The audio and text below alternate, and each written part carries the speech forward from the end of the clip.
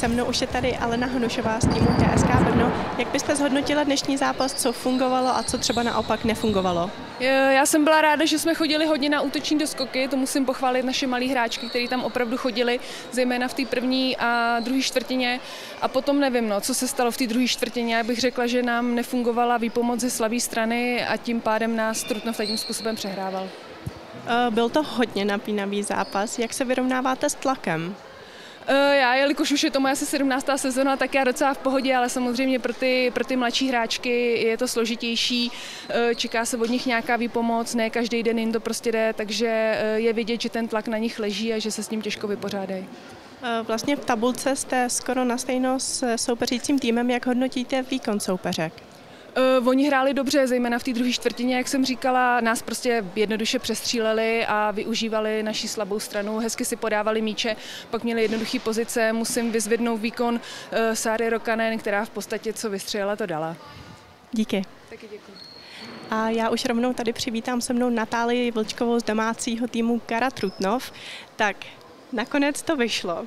A jak se cítíte ohledně dnešního zápasu? Tak určitě první letošní vítězství, jsme rádi a doufám, že od, že od teď už budou ty výkony jenom nahoru, jsme zlepšili to, co jsme chtěli a budeme se držet na vítězný vlně co nejdéle. Takhle na konci v té poslední čtvrtině se soupeřky k vám trošičku přiblížily. Jak jste, jak jste plánovala nějak jako udržet ten e, náskok? Ježiš, to nevím, jestli já zrovna, ale bylo tam hodně chyb, přidržovali jsme hodně balon, ten balon jsme si nepůjčovali tak jako v předchozích čtvrtinách a ta hra za mě byla trochu méně organizovaná, takže potřeba zlepšit, aby se to nestávalo v dalších zápasech, protože by nás to mohlo stát vítězství. Tak jak hodnotíte dnešní osobní, váš osobní výkon? Uh, jo, tak já jsem spoko. Samozřejmě, že byla jsem ráda, že jsem měla hodně otevřených střel a že to tam padlo. A jaká je motivace do příštího zápasu? Hrajete proti USK, takže to bude docela složitý soupeř. Eh, jak se připravíte na zápas? A, tak zápasy proti USK jsou vždycky těžký, ale uh, vzhledem k jejich kvalitě cizinek a vlastně i domácích hráček, to jsou i pro diváky hodně lukrativní zápasy a i pro nás, protože nazbíráme hodně zkušeností, takže určitě se těšíme, že aspoň trochu potrápíme. Tak díky a gratulace. A já už tady rovnou přivítám i trenéra DSK Brandýs Daniela Kruce. Tak, bohužel to nevyšlo. Jak se cítíte po zápase? Děkuji, že jsme prohráli. E, jako opět, když jsme spolu bavili na začátku zápasu, já tady mám statistiku, zase nás opět přeskákal, měl 46 do skoků, mi 39, takže jako tady to budeme muset nějakým způsobem řešit. My si myslíme z křídel, že nemusíme doskakovat.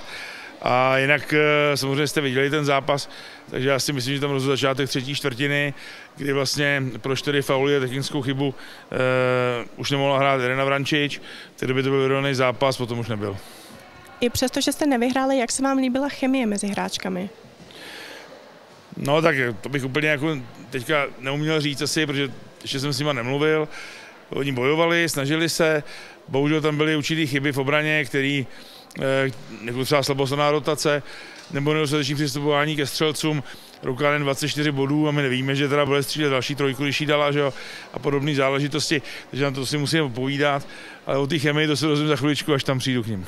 Tak když zrovna mluvíte o příchodu do šatny, proběhneme o, příchodu k holkám, proběhne nějaký motivační, motivační eh, speech na to, abyste je vlastně namotivoval do příštího zápasu?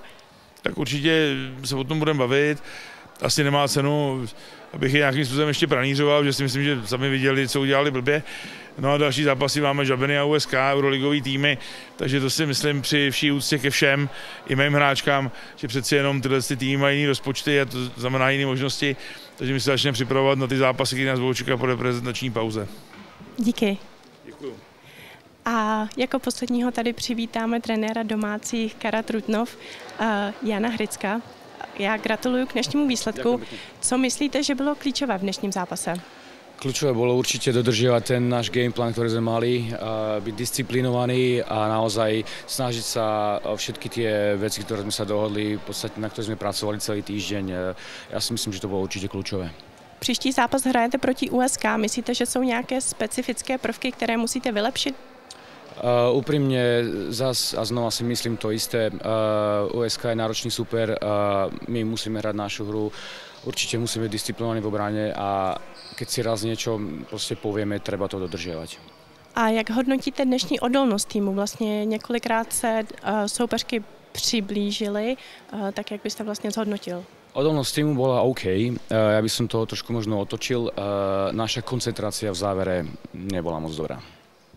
Díky a ještě jednou gratuluju.